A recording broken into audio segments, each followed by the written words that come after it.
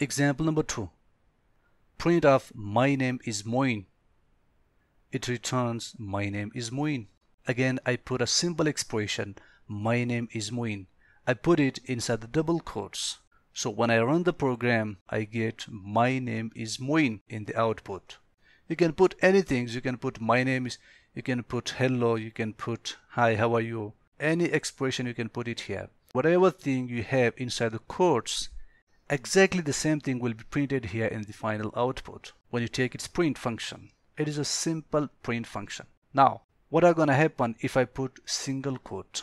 Let's check it for the single quote print of my name is Moein, it also returns the same answer my name is Moein. As I told you, whether you put double quotes or single quotes, ultimately your output will be the same. By putting the double quotes, my answer was my name is Moein. By putting the single quotes, I got the same answer my name is Moein.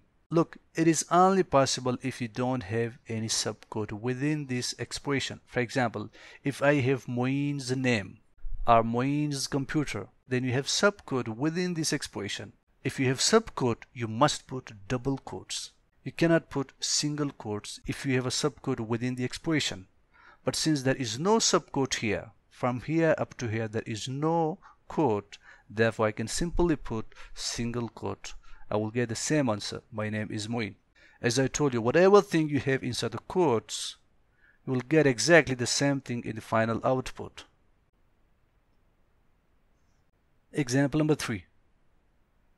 Print of welcome to Python. It returns welcome to Python.